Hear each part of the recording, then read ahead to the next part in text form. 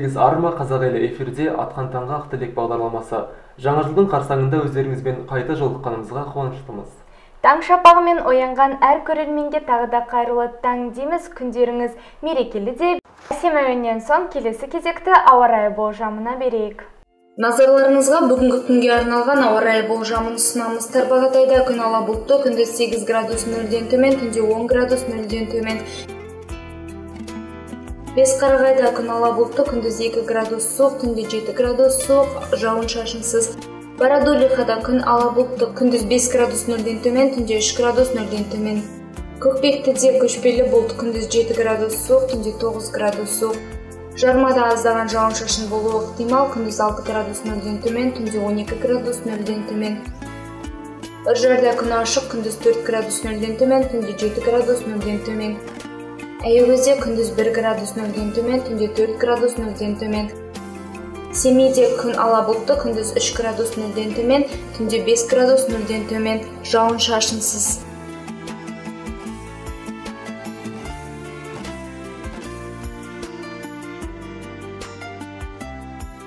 қымбатты телекөрермендер бүгін бізге өте тамаша қонақтар келіп отыр. Олай болса таныстыра кетсек ә, қалалық мәдениет сарайының әншісі және де үркер ән студиясының жетекшісі сарбасова мұңлық жұмағалиқызы және де шәкірті муташева нұрай қош келдіңіздер.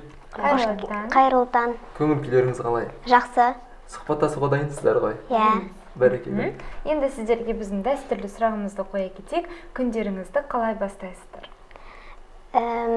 Мен күнімді таңертең бастен тұрғанда ә, жаттығу жасаймын мын, сосын жуынамын әм, тұрамын да әм, анам таңғы асты дайындайды да мен соны жеймін. Ә, киінемін киінемін. Сосын ә, бір кезде далаға шығып ойнаймын. Сіз ше Ә, біз енді бісміллә деп таңертең ә, құдайға рахметімізді айтамыз. Тағы бір таңды атырғанымыз үшін сосын жаңа нұрай айтпақшы жуынамыз. Таңғы асымызды дайындап таңғы ә, асымызды ішкен соң жұмысқа дайындалып жұмысқа барамыз. Таңғы таңымыз солай солайша таңдарыңыз жалғасып кетеді. Жалғасып кете береді енді қалалық мәдениет сарайының әртісі болғаннан кейін сізге қояр сұрағым. Осы ә, семей орда семей қаласындағы қара шаңырақта өнердің қандай жаңалықтар болып жатыр? Қандай іс шаралар өтіп жатыр? Қандай жоспарлар бар? Мхм. Біздің қалалық мәдениет сарайында қалалық мәдениет сарайы болған соң біз әрбір қаламызда өтіп жатқан мерекелік үлкен мерекелік іс шаралардың барлығына қатысып жатамыз. Мхм. Ә, мхм көптеген енді мысалы айта кетсек көп қой мерекелік іс шаралар жиырма екінші наурыз мысалы ұлыстың ұлы күні наурыз оған бір үлкен дайындықпен қатысып жатамыз. Мхм. Тағы көптеген мерекелік іс шаралар бар ғой. Сол- сол- соның барлығына біз қатысамыз. Жарайды бұл жағы түсінікті. Енді осы өнер жолына қалай келдіңіздер? Қай уақытта қадам бастыңыздар? Мен төрт жасымнан қадам бастым. Мхм төрт жасынан сен ән айтасың? Иә. Қызығушылық қайдан туды? Ән айтуға деген. өзім өзім ә- ән айтқым келгенімен кішкентай болғанда әнді кішкене шырқайтынмын. Сол үшін әнге келгенмін. Ал үркер ән студиясына қашан шәкірт болып түстің? Әм, есіңде жоқ па? Қалдың иә кім саған ән айтасың деп айтты. Ә, мамам ба алып келді сені? Мамам алып келген мен де өзімнің қатысқым келгенімен. Аха қазір жасың қаншада сен Ә, тоғызда. Тоғызда яғни сен ән айтып жүргеніңе бес жыл болды иә.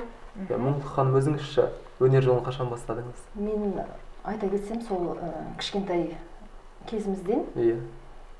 Менің үйде анам да марқұм марқұм әкем де барлығы ән айтатын Ә, ағаларым апайларым барлығы ән айтатын мхм.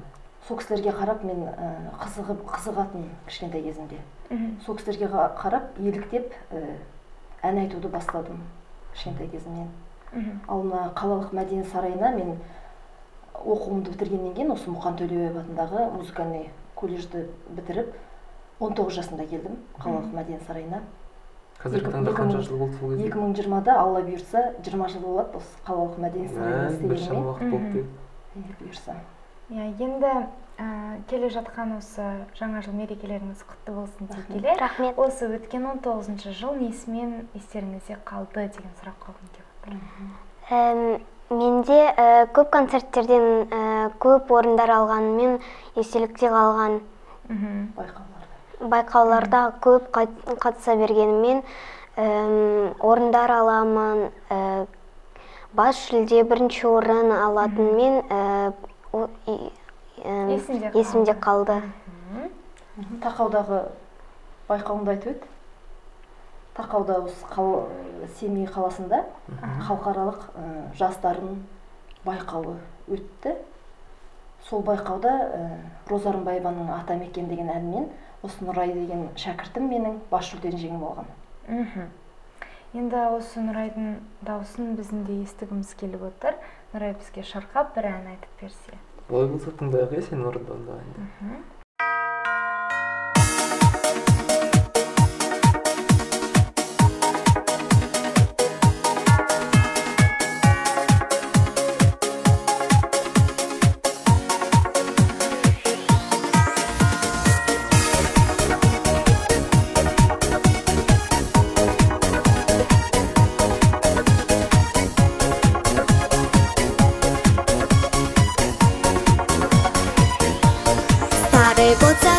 заканчивает бег. На часах последние минуты Кружится пушистый белый снег. Украшает небеса салюты. Жаль, конечно, что всего лишь раз. За 12 месяцев на свете Новый год встречается у нас. И мы верим в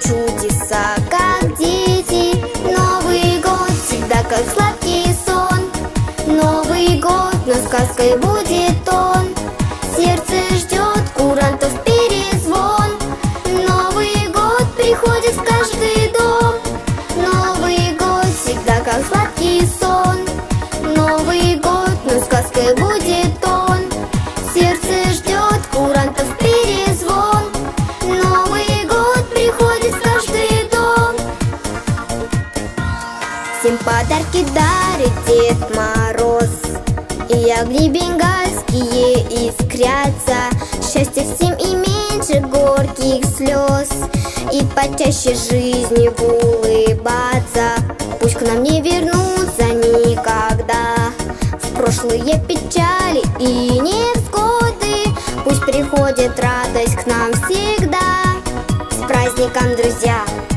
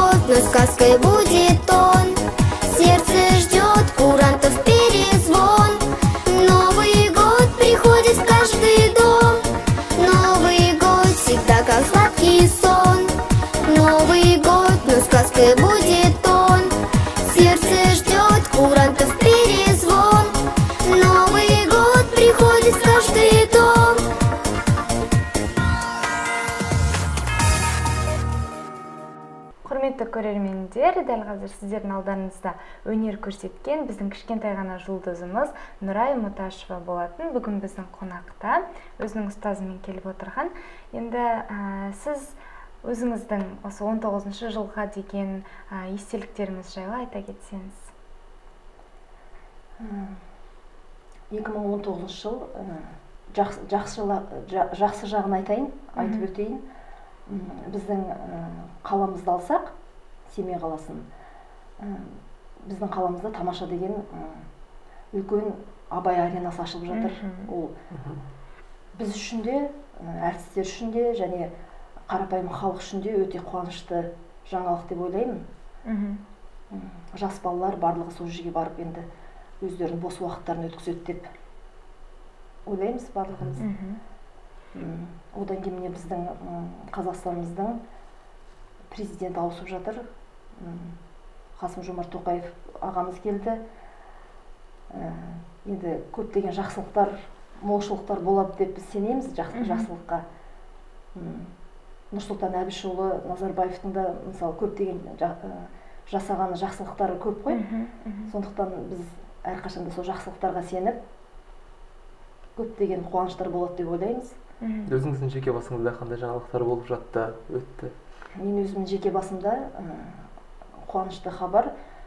Осы тақауда осы жаңа айтып өткен ы, абай аренасында болып өтті ол. М, 15 желтоқсанда. Мен ы, біздің қаламыздың әкімінің ы, қалаға еңбегі сіңген деген ы, төсбелгімен марапатталдым. Олай болса құттықтаймын сізді. Рахмет. Енді сіздердің аттарыңызды естіп мен біраз таңырқап тамсанып отырмын. Мұңлық апайы нұрай Ә, енді негізінде қазақта айтады ғой адамның аты адамның өміріне біршама әсерін тигізеді деп есімдеріңізді кім қойды? Өзіңізден бастасақ. Қалай қойды? Менің есімді анам марқұм анам қойған. Кітапты көп оқитын ол кісі ә, осындай мәдениет саласында бастық болып жұмыс істеген өзі. Мхм. Сондықтан өнер жолында болғандықтан ол кісі сол мұңлық зарлық деп айтады ғой поэмасы бар қазақтың иә сол сол немеден алынған ғой менің атым. Мхм. Өзім мақтанамын иә расында да атыңыз Ерекше. екен. Бірінші рет естіп отырмын. Иә енді сіздің осы кішкентай ғана шәкіртіңіз нұрай сізге қалай келді? Ә, ең алғашқы сабақтарыңыз қалай басталды? Сол жайлы айта кетсеңіз. Иә негізінен осы үркер ән студиясын қалай аштыңыздар? Қанда қашаннан ой келді? Мхм. Деген сияқты не ғой? Негізі мен осы айтып отырмын ғой екі мыңыншы жылы мен осы қалалық мәдениет сарайына алғаш жұмыс істеуге орналастым жұмысқа әнші болып. Сол кезде бізде адай азаматов деген кісі директор болып істеді. Сол кісі маған сөйтіп өзі айтты осындай ән студияңды гитара студияңды аш деп. Сол кезде мен ашқанмын ғой негізі. Одан кейін міне ә, осы үркер ән студиямды м, 2004 жылы ашып үркер деп ә, біздің қалалық мәдениет сарайының ә, гүлжан жақсыбаева ә, деген ху- художественный руководитель сол кісі өзі қойды атын. Сол кезден бастап біз өстіп осы оқушылар шәкірттер келіп жатырды жатты маған. Сол балалармен мен жақсы жақсы концерттік әндер жасап жаттап үлкен деген осы қаламызда өтіп жатқан мерекелік шара- шараларда орындап жүрміз. Енді сіздердің студияларыңызға қызығушылық білдірген ән айтамын деген кез келген бала бара ала ма? әлде бір іріктеу бар ма сіздерде? Иә әрине іріктеу болады. Мен өзім тыңдап өтемін. Әр келген баланы слухын тексеремін данныйларын тексеремін Ә, барлығы жақсы болып жататын болса мен баланы міндетті түрде өзімнің студияма аламын. Мхм. талабы болғанымен де таланты керек дейсіз ғой. Иә, әрине. Енді жаңағы өткен жыл туралы сөз қозғадық қой. Енді осы келер жылға қандай мақсат қойып отырсыз? Келер жылдан қандай жақсылықтар күтіп отырсыз? Келер жыл ә, 2020 жыл ә, өзімді айтып өтсем маған ә, 20 жыл болады алла бұйырса қалалық мәдениет сарайында жұмыс жасағаныма. Сол 20 жылдық үлкен концертімді жасап тамашалап жасап ә, ойдағыдай өткізсем деп армандап ә, сондай ойым бар мақсатым бұйырса. Ә, сосын міне үлкен мерекелік іс шара абай атамыз абай құнанбаевтың 175 жылдығы келе жатыр. Соған үлкен жоспарлар бар. Ол жалғыз менің жоспарым емес бүкіл осы қаламыздың шығыс қазақстанымыздың және оған біз де әрине қатысамыз деп отырмыз бұйырса. Мхм мен бұл жағы түсінікті енді ә, нұрай ә, әпке жақында ә, жаңа жыл мейрамы келе жатыр иә. Осы жаңа жылды сіздер қалай қарсы аласыздар отбасыңызбен ба әлде достарыңызбен ба деген сияқты. Жаңа жылдық негізі ә, леп сезіле ма қазіргі таңда? Жаңа жылдық көңіл күй. Көңіл күй. Ә, маған сезінеді Ә, біз жаңа жылды отбасымен және достарыммен тойлаймыз деп ә, келе жатырмыз Ә, әм, көп мейрам, мейрамдар болады. Жаңа жыл ең жақсы мейрамым менің. Сүйікті әм, сонда ә, достарым мен ә, ойнаймыз. Ә, көп ойын ойнап ә, тағамдар дайындаймыз бірге аналарыммен Нес- несімен ұнайды жаңа жыл саған осы ойындарымен ба тамақ ішкенмен? Әлде басқа да ерекшеліктері бар ма? достармен бірге жүргенімен ойнайды ә, ұнайды.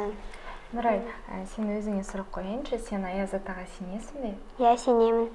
Аяз атаға хат жаздың ба сен осы жылы?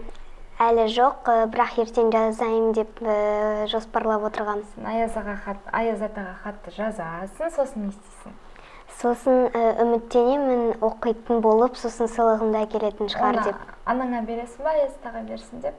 Әм, жоқ анама бере саламын өзім ә, х- ә, почтаға береді мен сосын осылай оқитын болады қандай иә? керемет өміріңде ғажайыптар осындай өте көп болсын.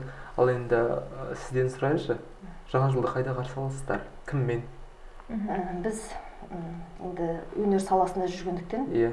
міне уже неше жыл болды деп тұрмын ғой мен жиырма жыл алла бұйырса жылда біз осы қалалық мәдениет сарайы ұжымы әншілері ә, бишілері біз барлығымыз ә, орталық алаңда жиналамыз. Мхм сағат кешкі тоғыз онның мөлшерінен түнгі сағат бір екіге дейін сол жерде боламыз. Мхм сол жерде м, коллективпен қарсы алып ә, себебі біз енді ә, мерекелік іс шаралардың барлығында әніміз әндерімізді орындап жүреміз ғой. Сондықтан бізде жылда сол орталық алаңда сондай Иә. мереке өтіп жатады. Біз со- сол жерде қарсы аламыз орталық алаңда. Енді қазақта айтады иә қанатсыз ә, армансыз адам қанатсыз бұлбұлмен тең деп жатады.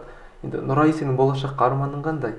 Кім болғың келеді ә, өскенде өзім білмеймін бірақ ә, үздік әнші және би мұғалімі болғым келген. Қазір бимен айналысасың иә тағы да? Иә. Қандай тамаша. Ал сіздің армандарыңыз бар ма? Армандар көп әрине. Бірақ ә, болашақта көре жатарсыздар. Мхм арманды негізі көп айтуға болмайды. Иә. сондықтан құпия болсын. Бұйыртса орындалуына тілектеспіз шын жүректен. Мхм мұңлық апай нұрайжан сіздерге өстіп уақыттарыңызды бөліп бізбен сұхбаттасқандарыңыз үшін шын жүректен алғыс айтамыз. Келе жатқан мерекелеріңіз құтты болсын. Алдыға қойған мақсат армандарыңыз орындала берсін дейміз. Ә, енді біздің осы көрермендерімізге айтатын ыстық лебіз тілектеріңіз болса. Ә, мен ә, жаңа жылдарың құтты болсын деп ә, айтқым келеді. Ауырмай жылы киініп жүріңдер. Ауырмай әм, көңілдерін құт- көңілдерін ә, көп болсын деп ә, тілек айтқым келген. Айтқаным келсін. мен осы барлық халқымызға семей қаласының қонақтарына халқына барлығына жаңа жыл құтты болсын деп айтқым келеді. Жаңа жылда жаңа бақыт әкелсін әр отбасына. Ә, туысқандарыңыз барлығы аман болсын. Жаңа бақыт жаңа табыс тілеймін барлығына көп рахмет. Айтқандарыңыз келсін. Ә, өнерлеріңіз өркендей берсін деп тілейміз. Нұрай сені биік белестерден көрініп болашақта роза ә, бибігүл апаларың сияқты үлкен әнші болады деп тілектеспіз. Ә, жұмыстарыңыз табысты болсын. Тек қана сәттілік тілейміз. Рахмет. Олай болса қымбатты телекөрермендер келесі кезекте мұңлық ханымның дайындаған бір тамаша әнін тыңдайық.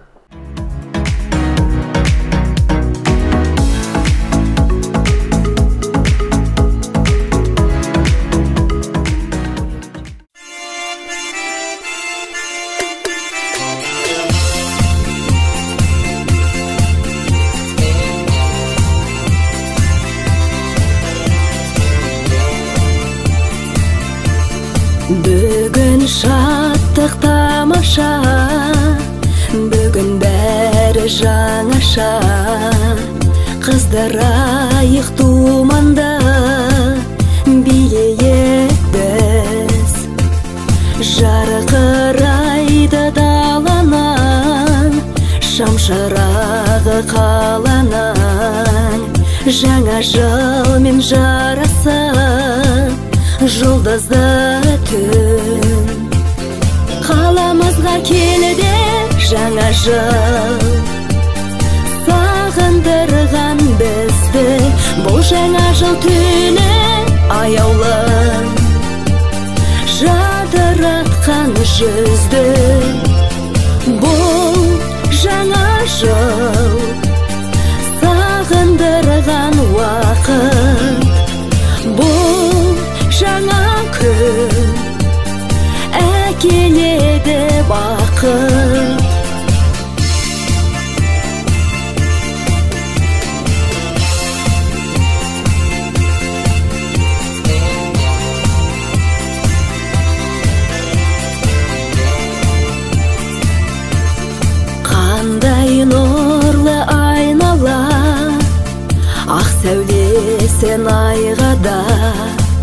жеткізейік шуақты көңілденмен бұл мереке жылы басы қуанышын жырлашы. Табысты сен жандарды сағынған жанмен қаламызға келді жаңа жыл. Сағындырған бізді. Бұл жаңа жыл түні аяулы.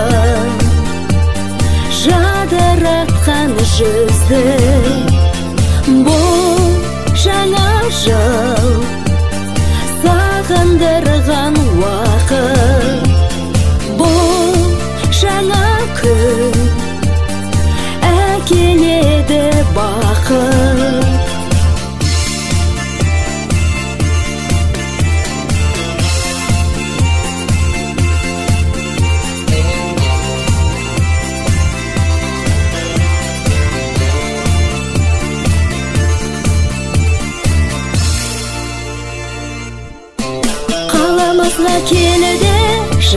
Жыл. Сағындырған бізді бұл жаңа жыл түні аяулы. Жадыратқан жүзді бұл жаңа жыл. Сағындырған уақыт бұл жаңа күн.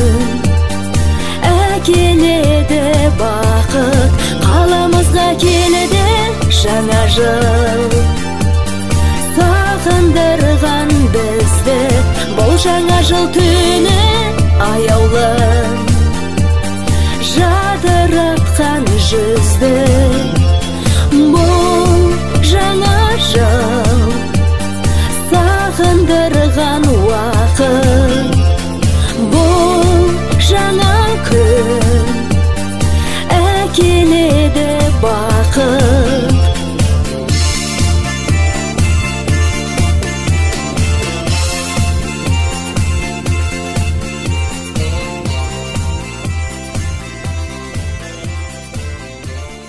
қымбатты телекөрермен олай болса келесі кезекте қала жаңалықтарын тамашалайық.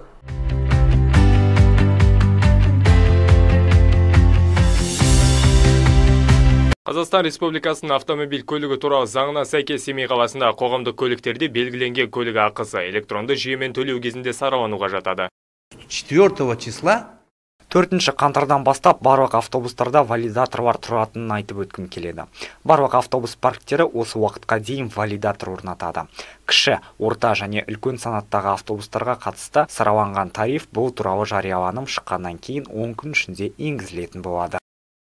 Жеңілдетілген санаттағы жолаушыларды тасымалдау шарттары өзгеріссіз қалады. 7 жастан 15 жасқа дейінгі балалар сондай ақ 70 жастан бастап зейнеткерлер жалпы тарифтің елу пайызын төлеу керек. Сонымен бірге бөлімде жол жүру ақысын төлеу жүйесінің дұрыс жұмыс істемеу жағдайында электрондық жол жүру құжаты арқылы төлейтін жолаушының ақысы жол жүру құқығына ие екендігін атап өтті.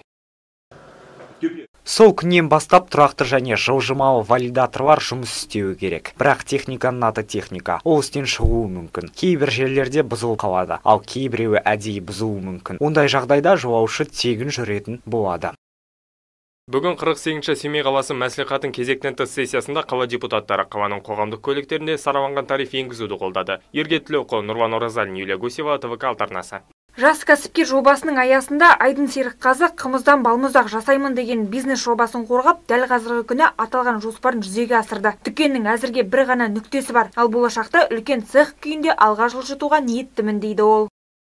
Осы 2019 жылы рымбек байсейітов атындағы семей қаржы экономикалық колледжін техник бағдарламалаушы мамандығы бойынша бітіріп осы атамекен ұлттық кәсіпкерлер палатасының жас кәсіпкер бағдарламасына қатысып 200 айлық көрсеткіште 500 бес мың теңге мемлекеттік грантты иелендім. Осы грантты иелеу мақсатында осы жобаға қымыз балмұздағын өндіру бағдарлама жобасымен қатыстым. Бұнда негізінен қымыз балмұздағының екі түрі бар. Қымыздан және саумалдан жасалған екі түрі сол осы ақшың сауда үйінде семей қаласында ақшың сауда үйінде осы қымыздан жасалған балмұздақтың осы балмұздақ дөңгешегінің ашылу салтанатты рәсімі болғалы жатыр. Бұл енді идея қайдан келді десеңіздер бұл өзіміздің ұлттық сусыннан жасалған қымыздан жасалған балмұздақ бұл бұл қырғызстан елінде брендтеген бұл неге өзіміздің ұлттық сусынымыз неге осы қазақстан біздің өзімізде осы неге дәріптемеске осы неге әлемдік деңгейге неге таныспасқа осы ұлттық сусыннан болашақта осы жаңадан тағы да өнімдер шығарамын деген ойдамын. Балмұздаққа каз айс деп атау қойған ол ашылу салтанатында семейлік жұртшылықты ұлттық тағамнан дәм татқызды. Әр, әр күн сайын таңғы тоғыздан кешкі алтыға дейін жаңа үлгідегі тәтті тағамның дәмін татуға шақырады. Жаңа жыл жаңа бастама. Дәл осындай қарқынмен бар болғаны 21 жастағы кәсіпкердің бүгінгі негізгі мақсаты ұлттық брендті қалыптастыру. Айдын серікқазыұлы бүгінде бар болғаны 300 теңгеге қымыз күйіндегі балмұздақты сатып отыр. Аида ахметбек нұрлан оразалин марат сағынбаев твк алты телеарнасы. 2019 жылдың 24 желтоқсанда аз қамтылған отбасы балаларының жетім балалары мен ата анасының қамқорлығынсыз қалған 25 бала қазақстан республикасы президентінің атынан жаңа жылдық шыршаға қатысты және 10 бала өскемен қаласында өткен шығыс қазақстан облысы әкімінің шыршасына барды. Жаңа жыл сіздерге өздеріңе тек қана жақсы да келсін. Жақсы оқыңдар. Үлкен жетістіктерге жете беріңдер. Жаңа жыл құтты болсын балалар. Бүгін мінекей жыл сайынғы дәстүрлі қала әкімінің шыршасы өтуде. Аталған жаңа жылдық шыршаға өздеріңіз білесіздер. Әлеуметтік осал топтан бұл жаңағы аз қамтылған оның ішінде көпбалалы отбасылар ата анасының қамқорлығынсыз қалған жетім балаларға арналған жаңа жылдық шырша өтуде. Барлығы жалпы саны 150 бала. Бұл 150 баланың барлығы қала әкімінің атынан қысқы сыртқы киім онымен қоса спорттық костюм және тәтті сыйлықтар алады. Бұдан бөлек тағы да абыраулы өңірінің жүз бала спорттық костюм мен тәтті сыйлықтар ойыншықтар сыйлық алады. Олардың абыраулы өңірінің балаларына арналған жаңа жылдық шырша өз ауылдарында өз өңірлерінде өтеді. Шырша барысында бүлдіршіндерге дәстүр бойынша концерттік бағдарлама ұсынылды. Шара соңында аяз ата мен ақшақар шығып кейіпкерлермен бірге құпияны табуға тырысты. Бұл жерде әлбетте кішкентай қонақтар көмектесті. Ал басты шыршаны аяз атамен бірге семей қаласының әкімі ермак сәлімов жақты. Сосын өзіміздің жүрегіміздегі жылуымызды үрлейміз.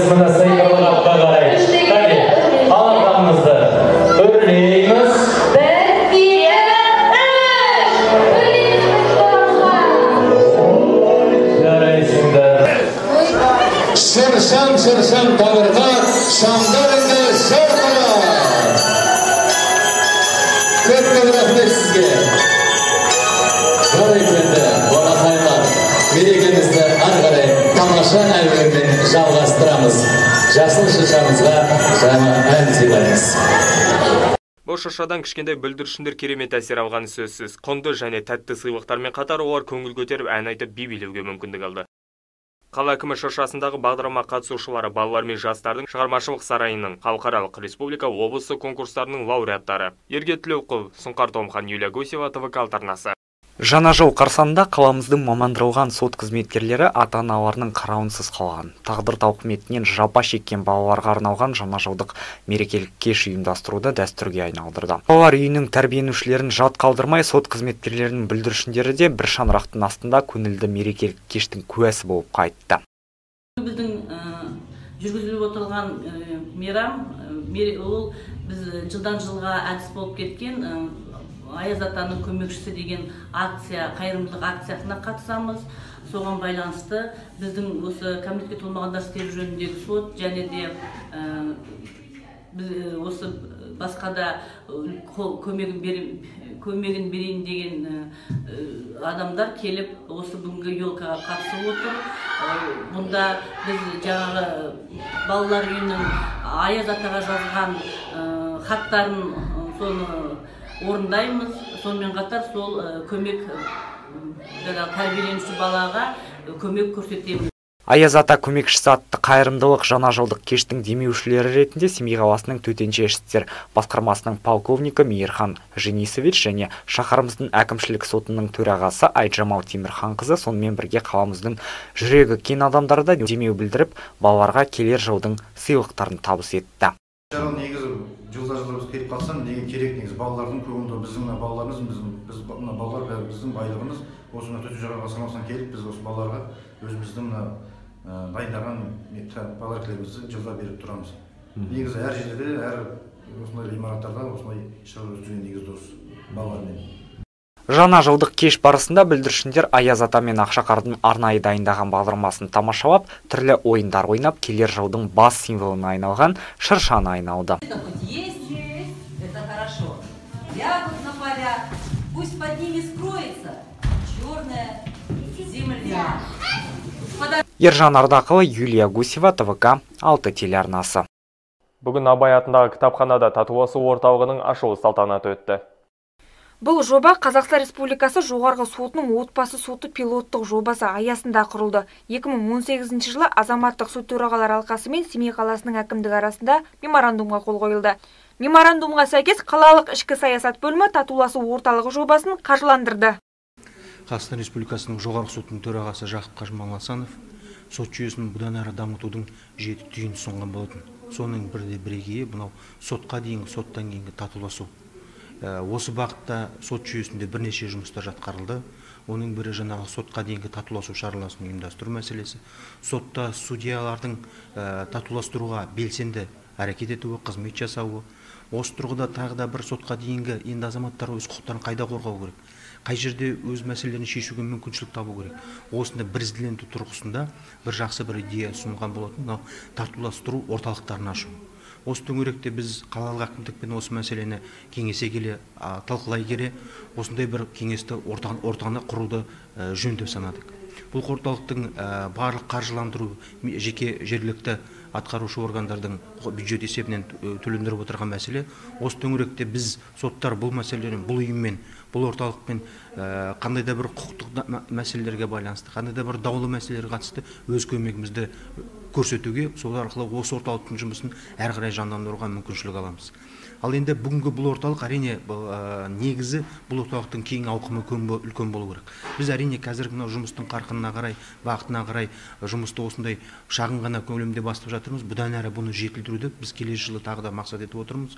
Бұдан әрі бізде социологтарға орын алу арнайы жеке психологқа бөлмелер арналу арнайы мемлекеттік органдардың өкілдерінің азаматтарды қабылдауға мүмкіншілік жасайтын сондай бір орталықтарды ашуды көздеп отырмыз. Жобалық кеңсе кітапхана ғимаратында орналасқан. Бұл жоба отбасылық құндылықтарды, отбасын құрудағы жауапкершілікті және оны сақтаудың маңыздылығын қалыптастыру мен насихаттауға бағытталған. Сондай-ақ тек отбасылық кикілжіңдер емес, көршілер, ағайын бауырлар арасындағы араздастық пен түсініспеушіліктің алдын алуға мүмкіндіктер жасайды. Ну, чаще всего көбінесе түсініспеушілікке душар болатын азаматтар тек өздерінің тараптарының дұрыс екендігіне көз жеткізгісі келеді. Ал қателіктің екі жақтан да болатындығын түсінгісі келмейді. Бүгінгі күні көбінесе ерлі зайыптылар бір бірін тыңдағысы келмейді. Осы кезде біз қырық елу жыл бірге өмір сүрген азаматтарды үлгі қоя отырып көптеген шаралар жасаймыз. Орталықтың жұмысына азаматтық сотпен серіктесте азаматтық қоғам институттары қатысады. Мәселен ардагерлер аналар медиация қызметі психологтар адвокаттар қаланың бет бейнесін анықтайтын қоғамдық пікір жетекшілері. Олардың қызметі ажырасу мәселелерін және басқа азаматтық процестердің тараптарын татуластыруға бағытталған. Айда ахметбек нұрлан оразалин юлиана гусева твк алты телеарнасы. Жаңалықтар ретінен соң келесі кезекті жұлдыз жорамалға берейік. Назарларыңызға келіп жеткен аптаға арналған жұлдыз жорамалдың ретін ұсынамыз. Тоқты ұзақ күткен өзгерістерді қабылдауға әзір өміріне ене бастаған мақсаттар мен армандардың жетегіне ілеседі тап бастаған кезеңді түсініп сезінеді. Кәсіби саладағы істер жеміс әкеледі. Жаңа бағытта жұмыс істеп жаңа дүниені меңгереді. Біліктілігін жетілдіреді. Диплом алып сертификат алып ол сізге үлкен мүмкіндіктер әкеледі. Жаңа жылда жаңа қызметке баруыңыз мүмкін. Бұрынғы серіктестермен бірге істейтін жұмыс болуы мүмкін. Кәсіби рөліңіз көпшілік алдында болуға міндеттейді жастар өзіне жаңа дос табады ортақ қызығушылығы бар одақ құрылуы мүмкін. Басқаларда қызметтік роман болуы ықтимал. Қаржы мәселесі тұрақты болады. Отбасылық қарым қатынас енді сізге маңызды болады. Торпақ туған туысқандарыңыздың проблемасына басқасынан гөрі көбірек алаңдайды өзгерістер мен күтпеген оқиғалар мазалайтын болады. Біреудің тұрақсыздығы да мазасын алады. Сонымен қатар тыныш өмір сүру үшін жақын адамдарының ұстанымын қабылдауға тырысады. Жаңа жылда тағдырдың еркесі болады. Бақытты жағдайдағы адамдардың қатарына айналасындағылар қызығып көре алмауы мүмкін. Анда санда өзі туралы өсек аяң сыпсың сөздерді естиді. Осы жыл өз ұстанымын бекітетін жыл. Творчестволық өсу жағынан да кәсіби жағынан да. Беделді серіктесті өзіне қаратады. Серіктестік қатынас қай жағынан болса да сәттілік ә, әкеледі. Айтылатын сөздер қойылатын қолдар парольдер өте маңызды болмақ. Солармен өміріңіздегі маңызды оқиғалар байланысты болмақ. Отбасында жаңа туысқан пайда болады. Демалысқа қатысты сапарлар күтіледі. Жаңа жылда махаббат жолы болады. Егіздер. Жұмыс бағытын өзгертіп жаңа мамандық игеріп жаңа іс бастағысы келеді. Құмар адуынды табанды болады. Кейде алға ұмтылыстың белсенділігінің күштілігі сондай тіпті кейбір адамдар сізден қорқатын болады. Жаңа 2020 жыл өзгерістер мен жаңалықтарға толы болмақ. Сонымен бірге өмірдің жаңа кезеңіне жол ашылады. Көбісі көшу идеясымен бірге оны тіпті жүзеге асыра алады көп жол жүреді сапарға шығады. Жаңа достар пайда болады. Араласатын достары нақты және таңдаулы болмақ. Осы жылда мүлікке қатысты мәселелер жетістікке әкеледі туыстармен байланыс өзгереді жаңа жағдайға үйренеді жаңа жауапкершілікті үйренеді қосымша міндет жүктеледі. Қаржы мәселесі жақсарады қарыздарынан құтылады. Ә, жүрегі жаңа махаббатқа дайын болады.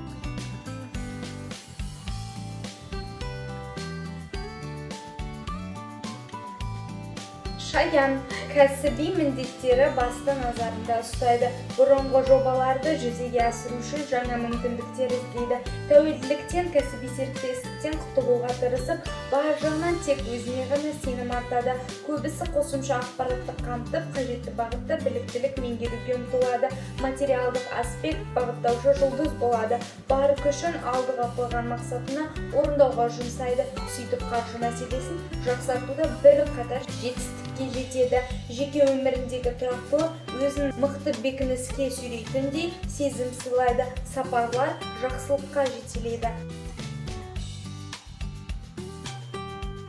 Арыстан жағдайын жақсартуға өмірін жөндеп реттеп өзгеріс жасауға үйін жақсартуға тырысады.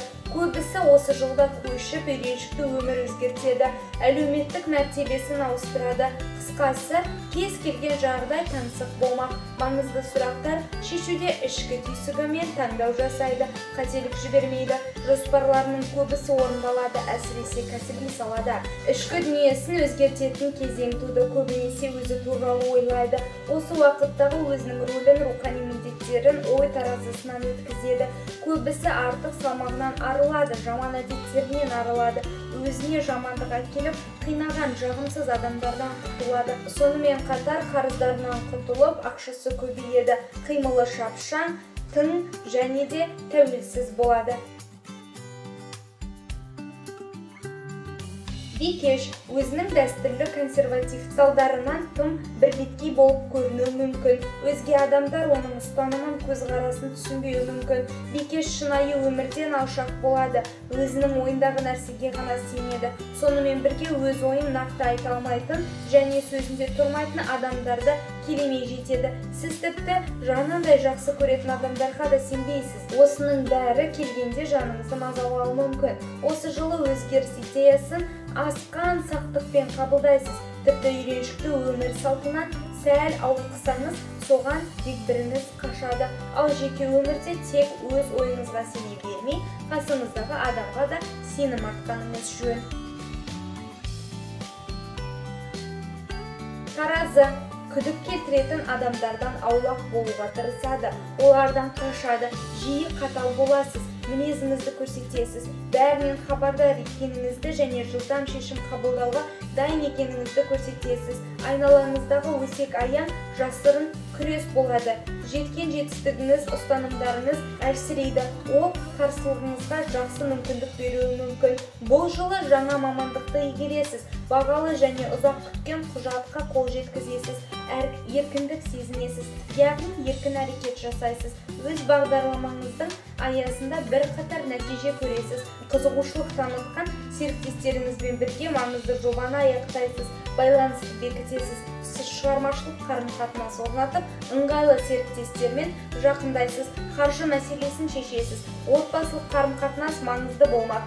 Өзіңіз кезінде басты ереже деп санаған дүниеңізді өзгерте алмайсыз. Сондықтан қанша сезіміңіз болса да еш нәрсе өзгерте алмайсыз жеке өмірде. Сары шаян кәсіби қарым-қатынастарды нығайтып біліктілік қызметке бар назарын аударады. Әрдайым ізденісте талпыныста болады. Ішіндегі идеяларын жүзеге асырудың бар мүмкіндігін іздейді. Бұрыннан таныс одақтас ол шетелден болуы мүмкін. Сол адамнан жақсы ұсыныс түседі. Көшу мәселесі де көтерілуі мүмкін. Өзіңіздің танымалдылығыңыз табыс әкелуі мүмкін. Біреудің көмегінсіз өзіңіз ғана қол жеткізген дүниеге жұрт көңіл аударады. Өзгелерге үлгі боласыз. Осы жылғы кездесулер тағдырыңызды өзгертуі мүмкін. Тіпті бұдан да мистика болуы да ғажап емес. Таңғажайып өзгерістер қазірден бастап жүзеге асырыла бастады деуге болады. Мерген қалтқысыз өте маңызды қарым-қатынастарды сақтап қалады. Көп нәрсеге тиіскізбей түрткізбей сараптамаға салғызбай қызғыштай қорғайсыз. Бұндай ұстаным көптеген мергендерге тән болмақ. 2020 жылы көп нәрсе өзгереді қарым-қатынаста да бұрыннан дос болған адамдардың бұрыннан дос болған адамдарыңызбен жолыңыз айырылуы мүмкін. Туыстар арасында да өзгерістер бар. Біреуді ұзақ сапарға шығарып саласыз. Қаржы мәселесінде бәлендей өзгеріс жоқ. Тұрмыста көп күш жігер танытуға тура келеді. Сезіміңізді жасыруға да мәжбүр боласыз. Тауешкі өзіне нық сенімді. Ұстанымыңыз тұрақты және мықты бірақ болып жатқан нәрселерге көңіліңіз толмайды. Жақын туысқандарыңызға қатысты мәселелерді алаңдайсыз. Жұмысты сылтауратып кездесулер мен келіссөздерден қашасыз. Өйткені ол сізге қызықсыз. Мүлікке қатысты маңызды шешім қабылдайсыз. Жоспарыңызды ішке сақтап арқа сүйейсіз. Қарыз міндеттемелері сізді алаңдатады. Отбасылық сыйлық мерейтой маңызды болмақ. Өйткені ойлап мұңға батасыз. Жүрегіңіз кімге болсын ашық. Суқұйғыш өткенде болған оқиғаларды сағынып өз өзіңізге таң қаласыз. Өзгенің пікірін елемейсіз. Бәріне бір ғана жауап өткенді сағыну. Ол өз кезегінде алға жылжуға дамуға кедергі болады. Әсіресе қызметте өзіңізбен әрекет етуге шамаңыз жетпейді. 2020 жылы сізге бетбұрыс қажет. Жұмыста жұмыс саласында өмір салтында дененің белсенді қимылы ғана сізді кертартпалықтан сақтап қалады. Дене шынықтыру мұңнан арылтады. Бір міндеттемелерге ұмтыласыз. Мысалы шет тілін үйренуге музыкалық аспапта ойнауға шығармашылыққа жаны жақын адамдарды жетістік күтіп тұр. Туысқандарыңыздың денсаулығы алаңдатып соған қарайлайсыз. Тұрмыстық мәселені тез және жиі шешесіз байқауға қатысасыз романтизмнан аулақсыз. Ес, есесіне қаржы мәселесі орасан ол сізді құмартады. Балықтар өмірінде көп нәрсеге өзгеріс ұшырайды. Көбінесе оған жағдайлар ықпал етеді. Жұмыста үлкен бетбұрыс бар. Көбісінің әлеуметтік мәртебесі өзгереді. Жаңа қызметте орналасуы мүмкін. Тағы біреулер жаңа одақтастармен қызметке кіріседі. Бизнесте басқа да істерде де. Барлығы жаңа жағдайда жаңа ережелерде орын алады. Қоштасу туыспен ажырасу орын алуы мүмкін. 2020 жылда өзіне жан жақты адамды іздеумен болады. Жақсы көрген адамына жақсылық жасауға тырысады. Жоспарлаған сапарлар күтіледі. Достардың белсенділігі артады. Әсіресе мұңға батып көңілсіз күйге түскен достарының достар белсенді рөл атқарады. Жақын адамына көмектесіп жүріп көп нәрсені шешеді шынайы сезімін жасырады қолда барына шүкір етеді. Келіп жеткен 2020 жыл әр жұлдыз белгісіне тек жақсылық әкелсін дегіміз келеді. Қымбатты телекөрермен біздің бағдарламамыз осымен тәмам олай болса күндеріңіз жағымды жаңалық пен қуанышты сәттерге толы болсын. Келе жатқан жаңа жыл мейрамы құтты болсын. Бізбен бірге бір сағат көлемінде болған әр көрерменге шын жүректен алғысымызды айтамыз. Сіздермен болған әріптесім ғалымжан және де мен айбота. Біз сіздерді жақсы көреміз.